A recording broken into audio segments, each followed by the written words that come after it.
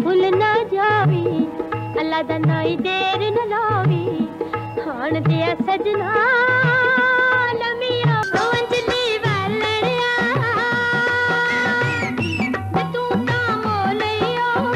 पाकिस्तान फिल्मी दुनिया की वो अदाकारा जिसने फिल्मी दुनिया में कदम रखा तो एक के बाद एक नाकामी का सामना हुआ। लेकिन हिम्मत नहीं आ रही और जदोजहद को जारी रखा। और खुद को पाकिस्तानी फिल्मी सनत की एक मशहूर तरीन अदाकारा के तौर पर कायम किया।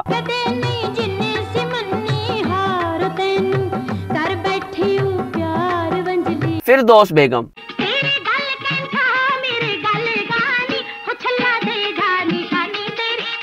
वालेकुम नाजरीन। लाज फ़िल्म में खुश आमदीद। मैं आपका मेजबान मोहम्मद असन मालिक। नाजरीन, आज की इस वीडियो में फिरदौस बेगम की इब्तदाई जदोजहद और फिल्मी सफ़र पर रोशनी डालेंगे और उनके कई ज़बरदस्त गीत आपकी खिदमत में पेश करेंगे।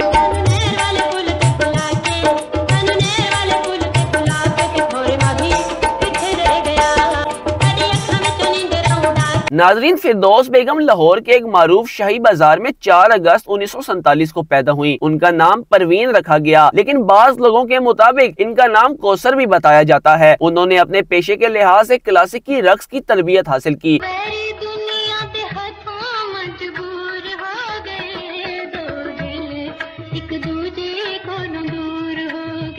फितरी तौर पर फ़िल्म और मौसीकी का जोक भी इनकी शख्सियत का हिस्सा था। पाकिस्तानी फिल्मी सनत के फ़िल्म साजों की अक्सरियत इसी शाही बाज़ार का रुख किया करती थी, ताकि वो अपनी फ़िल्मों के लिए ऐसी खातन को ढूंढ सके, जिनको फ़िल्म के रमूज से आगाही हो, और वो रक्सो अदाकारी में किसी तरह की झिझक का मुजाहरा न करें। लिहाजा इसी सिलसिले में एक पाकिस्तानी फ़िल्म साज बाबा कलंदर ने फिर दोस्त बेगम को दरियाफ्त किया।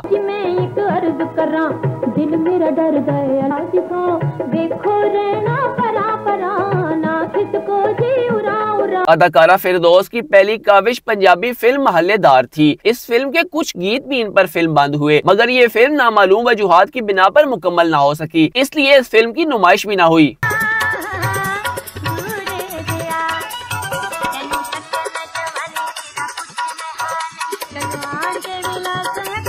इसी तरह फिर एक और फ़िल्म सास क्यू एम जमान की नज़र इन पर पड़ी। उन्होंने अपनी फ़िल्म गुल बकावली में इन्हें मुख्तसर सा किरदार दिया, मगर ये फ़िल्म नाकामी से दो चार हुई। इस फ़िल्म की नुमाइश 27 अक्टूबर 1961 को हुई थी। ये इनकी पहली वो फ़िल्म थी जो नुमाइश के लिए पेश की गई।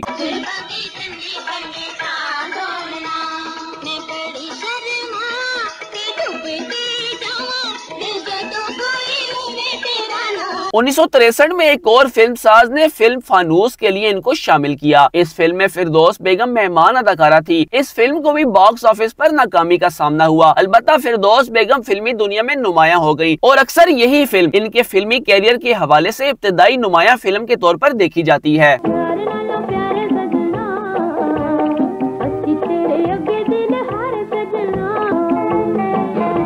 नाजरीन, फिरदौस बेगम की मुस्तकिल मिजाजी देखिए कि वो फिल्मी दुनिया में अभी तक गुमनाम थी, फिर भी मुसलसल काम कर रही थी। साठ की दाई की मजीद वो फ़िल्में जिनमें इन्होंने इब्तदाई तौर पर काम किया। इन फ़िल्मों में उन्नीस में नुमाइश के लिए पेश की जाने वाली फ़िल्म खानदान थी, जिसमें उन्होंने एक सानवी किरदार निभाया। इस फ़िल्म में मोहम्मद अली, सुल्तान राही और अकमल जैसे अदाकार शामिल थे, लेकिन फिर भी फिरदौस के हिस्से में गुमनामी ही आई।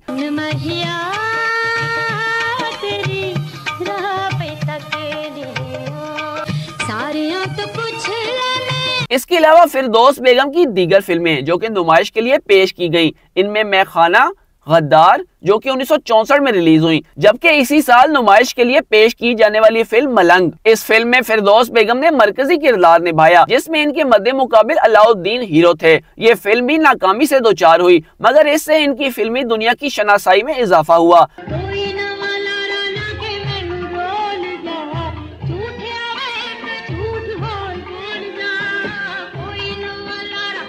अगरचे फिरदौस बेगम की इब्तदाई पहली फ़िल्म अधूरी और बाद में आने वाली दो फ़िल्में नाकाम हुई और इन फ़िल्मों में इनके किरदार भी मुख्तसर थे, लेकिन इसके बावजूद उन्होंने हिम्मत नहीं हारी और किस्मत भी इनके हक में थी कि उन्हें शोहरत की बुलंदी का मिलना बाकी था। बस इसके बाद क्या था? उनको फिल्मी दुनिया में जितना और जैसा काम भी मिलता गया, वो करती चली गई और अपनी मेहनत को जारी रखा। पाया, हो छल्ला पाया मैं हथ ढोल साल उन्नीस सौ पैंसठ में शोहरत की देवी, इस हुसन की देवी पर मेहरबान हुई। ये बर्स इनके लिए बहुत मुबारक साबित हुआ। इस साल इनकी सबसे पहली मशहूर फ़िल्म, मलंगी नुमाइश के लिए पेश की गई। इस फ़िल्म ने फिरदौस बेगम को शोहरत की बुलंदियों पर पहुँचा दिया। ये फ़िल्म एक ऐसी दस्तक साबित हुई, जिसके बाद इन पर फिल्मी दुनिया और फिल्मी शोहरत के दरवाजे खुलते चले गए।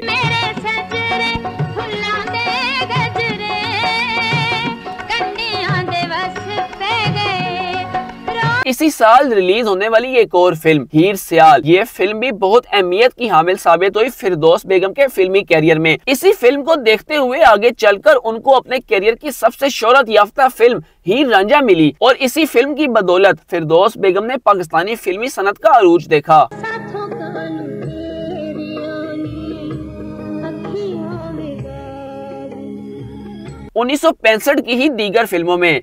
झांझर और नाचे नागन बजे बीन शामिल हैं। नाजरीन, अगर अब तक देखा जाए तो फिरदौस बेगम की सिर्फ़ एक फ़िल्म, जो कि मलंगी है, वो ज़बरदस्त साबित हुई और उसी फ़िल्म ने उनको शोहरत की बुलंदियों पर पहुँचाया। उनकी शोहरत में कलीदी किरदार फ़िल्म मलंगी का ही है।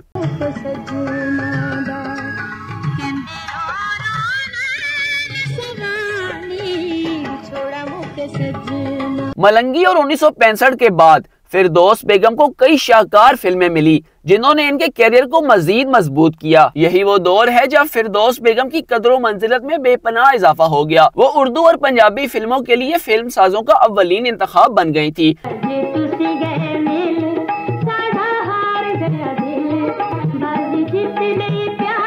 इस दौर के बाद इनकी मजीद चंद मशहूर फ़िल्में आँसू इश्क दीवाना, जो कि 1971 में रिलीज़ हुई। इसके बाद 1972 में फ़िल्म खून पसीना और हीरा मोती इनकी ज़बरदस्त फ़िल्मों में शामिल की जाती हैं। इसके बाद साल 1973 में उनकी बेहतरीन फ़िल्म बनारसी ठग थी।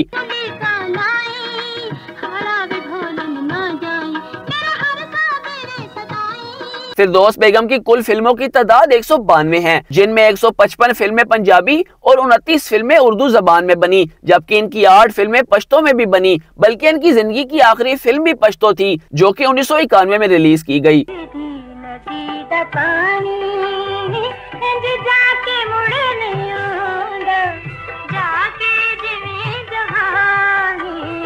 नाजरीन, फिरदौस बेगम का फिल्मी कैरियर तीन दहाइयों पर मुश्तमिल है, जिसमें 60 और 70 की दहाई में उन्होंने बेशुमार काम किया। 80 की दहाई में काम में कमी आई और 90 की दहाई से लेके उनके इंतकाल तक, वो तकरीबन 30 बरस तक गोशा गुमनामी में रहीं।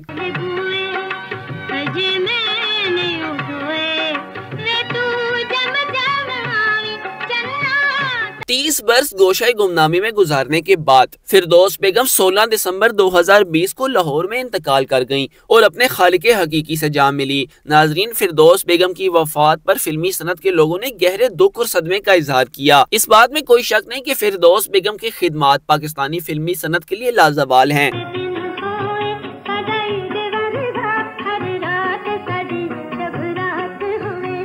चलिए दुनिया दे उस नुकरो लाज फ़िल्म उनकी खिदमत पर उनको खराज तहसीन पेश करता है। नाजरीन, अदाकारा फिरदोस बेगम के बारे में अपनी कीमती राय से ज़रूर आगा कीजिएगा। इसके साथ ही अपने मेजबान मोहम्मद हसन को दीजिए इजाज़त। कल एक नई वीडियो के साथ आपकी खिदमत में हाजिर होंगे। तब तक अपना ख्याल रखें। अल्लाह हाफिज।